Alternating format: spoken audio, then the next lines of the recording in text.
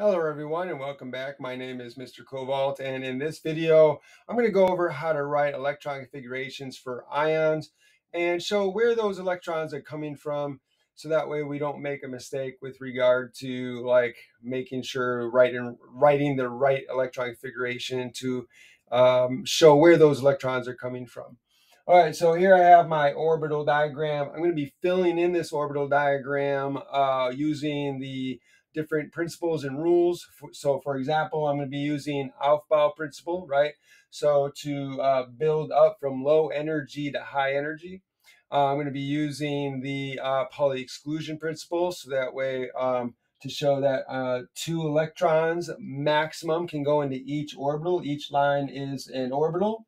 And those uh, those electrons should be uh, opposite spin, so spin up and spin down in each orbital. Um, also, I'll be using Hund's rule, right? Remember, Hund's rule says that if you have uh, orbitals of equal energy, when you're adding electrons to each of those orbitals, you, you add them one at a time and they have to have the same spin. So maybe spin up, spin up, spin up before you start pairing them up. Okay, so let's get into this. So um, here we have uh, some atoms. I'm going to write out the electron configurations for the um, the neutral atoms, right? And then we're going to see where those electrons come from and what that electron configuration for the ion would look like. Okay, so we, let's start with magnesium. Magnesium is number 12 on the periodic table, so we need to put 12 electrons in there because we're assuming uh, neutrality right now. So let's get into this. So 12 electrons. So I'm going to put starting from low energy spin up, spin down, two in in um, in the one S, and then uh, the two S gets spin up, spin down, so that's four. And then I'm going to add one at a time, spin up, spin up, spin up. And so there's three, and then I can start pairing them up, spin down, spin down, spin down. Okay, so that so far that's 10, and I need two more. So I'm going to put spin up and spin down. So that's 12. So now I have my 12 electrons. And so here, um, we got to figure out where the electrons are going to be coming from. So if you know the uh, periodic table, if you know where this element lies, you, uh, you can figure out the charge from there. Remember the octet rule. Um, all atoms want to be like noble gases, so they're going to lose or gain electrons based upon uh, which is easier to do. So they want to get that full outer shell, that valence shell. They want that to be full, and uh, they're going to lose or gain electrons to get that full shell. And so here you can see that uh, the last electrons, the highest energy level is three. And so here, to get that full shell with your S and your P, uh, you need either six more electrons. So magnesium can either add six electrons to get that full shell, or it could lose these two electrons, and then next shell would then be the full shell. So 2s, 2p together would be your full eight. And so it's a lot easier to remove two electrons than it is to gain gain six. So uh, magnesium will lose those two electrons. So lose these two electrons here from from the 3s which is the at this point the highest energy level is 3 and you can tell it's the highest because you got the 3 there. So that's where the electrons are going to be pulled from. So they're always going to be pulled from the highest energy according to the shell number here the energy level number here. All right so you lose those two electrons there right so then, if we write out the uh, the electron configuration for magnesium before we move those electrons, it'd be 1s2, 2s2, 2p6, 3s2. So we lost the 3s electrons. So this would be the electron configuration for the neutral atom, but we lost those two electrons. So we would remove the 3s2 and so that would be the electron configuration for the ion magnesium with a 2 plus charge. Okay, let's try the next one. So we have phosphorus.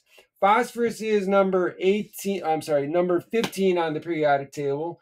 So we're going from, let us add our electrons back. Oops. So we have spin up, spin down. So here we have 12 electrons. We need three more electrons to get 15. So we're going to add one, two, three. Notice I'm, I'm following Hund's rule. So those three go are going to go one at a time singly into the three equal orbitals. And that's it. So we have 12, 13, 14, 15. So now we can figure out what phosphorus is going to do. So we have, it could either gain three more electrons or it can get, to get that full outer shell, right? That third full outer shell with the S and the P. Or it could uh, lose these three electrons, lose those two electrons, so lose five electrons to then have a full outer shell it's going to be a lot harder to remove four, five electrons than it is to gain three. So it will gain three electrons from some other atom or atoms. And so spin down, spin down, spin down. So if we write the uh, electron configuration for the atom before it gained electrons, it would be 1 S2, 2 S2, 2p6, 3s2, and it would be 3p3, right? So before we added those three electrons, it was 3p3, but when it gains those three electrons, it will be 3p6. So you add a 6 there. And so that would be the electron configuration for phosphorus with a 3 minus charge. Okay, let's move to the next one. So calcium. Calcium is number 20 on the periodic table. So here we have uh, right now, what is this? We have 20 plus 6. I think that's 26. Let's count. So we have 2, 4, and this is 6 here. That's 10. Sorry, that's 18. So we have 18 here.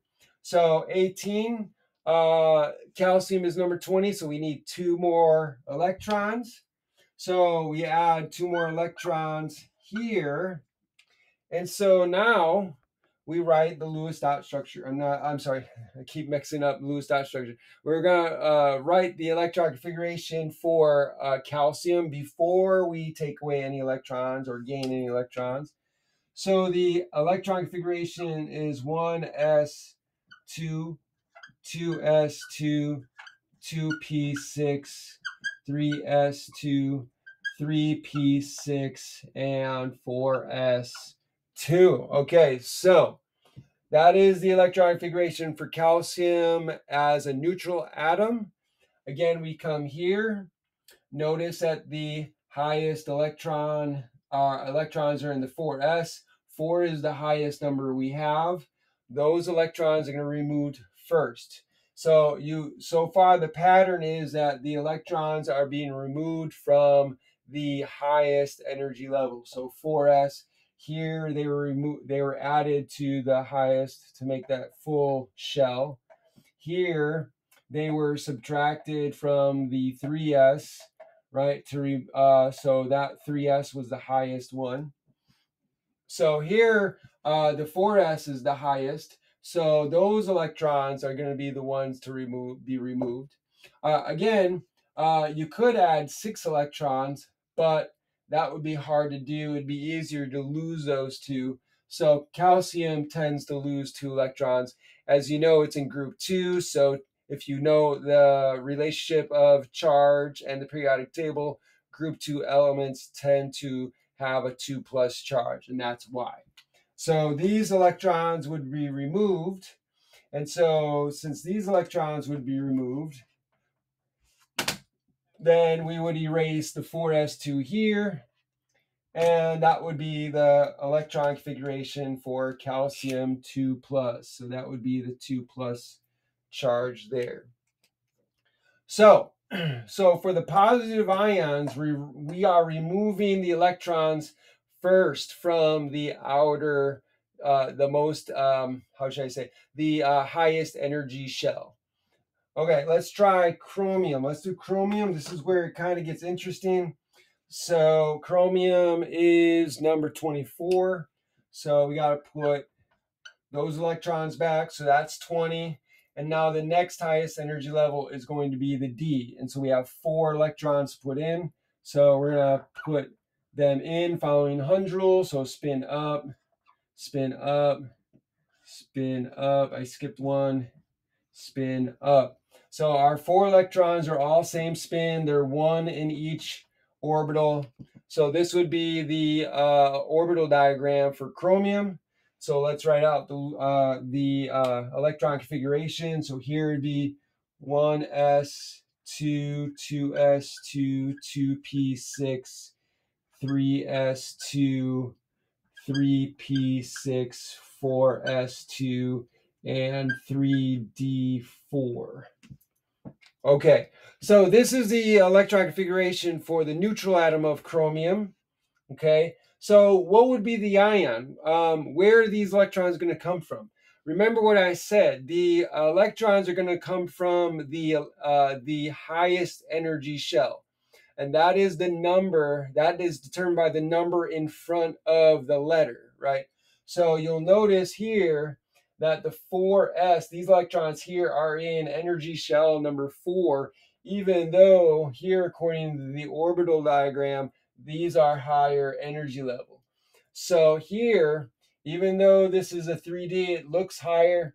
The electrons are being taken from the 4s. This is the higher number. So the electrons are taken from this here. Okay, so we remove those electrons, not these. So we these are always removed first. So let's assume, let's uh, chromium is a transition element. It can have various charges. Let's assume that it has uh, a plus one, uh, let's say it has a plus three charge, okay? So if we give this a three plus charge, we need to remove three electrons. The first two electrons are removed from here, not here. So we don't remove three electrons from here first, right? That would be the wrong way to go about it the electrons would be first removed from the 4s because that's a higher number, and then you would remove from the 3d. So these would be removed. So remove those, that's two. And then for the 3 plus, we need one more electron. So we would remove one of the electrons here. And so now the electron configuration would be 1s, 1s2, 2s2, 2p6, 3s2, 3p6, 3d3. So then we would get rid of the 4s2 and replace that with 3d3. So that is the electron configuration for the chromium 3 plus ion. This is typically what happens when we're dealing with the transition elements. So you got to be careful when you're figuring out what the electron configuration for ions that are, are the transition elements. All right, so what about uh, iron? Iron, again, is a transition element. It is number 26. So let's put in 26. So we have 20, 1, 2, 3, 4, 5, 6.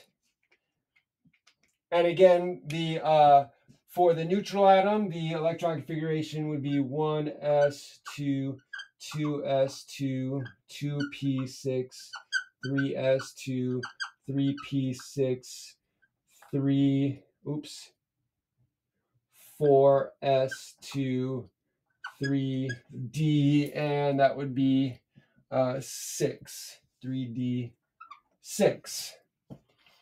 But once again, just like before, um, we have our two electrons here in the 4s, but we have electrons in the 3D.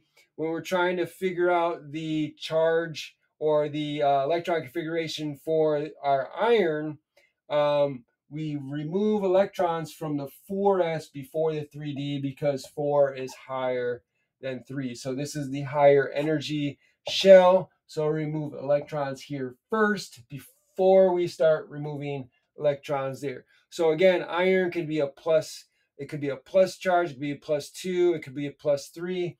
So if uh, if iron is a plus three charge, right, once again,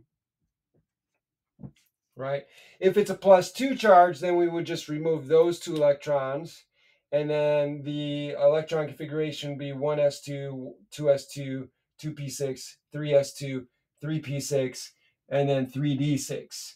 If it's a 3, then we remove these plus 1 over there. So if we remove those electrons and remove 1 here, right? So now the electron configuration is going to be if we remove the 4s2 here and we replace the 3d10 uh, 3d6 with 3d5 then oops wrong color. So that's going to be 3d5 then that would be the electron configuration for for iron and then finally for bromine like so bromine is number 35 so here we add our two electrons 20 25 26 27 28 29 30 and then we start adding here 31 32 so the 3d then the 4p and so now we have bromine bromine as one two three oh wait hold on a second. Uh 35 so we have one two three four uh 10 18 20 that's going to be uh 20 uh 30 and then 32 okay so here um bromine I looked uh 35 Oh, 35. I forgot electrons. 30, I said 32, but this is 35. So we have 33, 34, and 35. That's much better. That's less confusing. Okay, so now here you can see that the energy level, the highest energy level here is 4, and it's almost full. It's got 7 valence electrons in there. And so now bromine can either add one or it can lose seven. It's a lot easier to lose uh, to gain one electron. So it's going to gain that one electron like that. And so the electron configuration would be 1s2, 2s2, 2p6, 3s2, 3p6, 4s2, 3d10, and then 4p6. So let's write that. So it's going to be 1s2, 2s2, 2p6, 3s2, 3p6, uh, 4s2, 3d10, and then 4s, uh, no, I'm sorry, 4p6. And so that would be the electron configuration of bromine with a minus one charge and you can see that they have a full outer shell there. So that's it for this video. I hope that is helpful for uh, writing the electron configuration for ions. You got to be really careful about the transition elements. Remember that you're going to remove electrons first from the highest energy level. So especially for the uh, transition elements, that's going to be probably the s orbital. So you um, so you're going to remove electrons first from those, and then if you need to still remove electrons, then you start removing from the d uh, d orbital or d sub sublevel. Uh, I hope this was enjoyable. I hope you got a lot from this video. Please make sure you hit that like button. Uh, share this video with your friends. Make comments in the comment section. Let me know what you think. Uh, subscribe to my channel. Hit that notification bell. And uh, uh, let me know what you think. Ask me some questions down below. Thanks for joining me. Have a great day.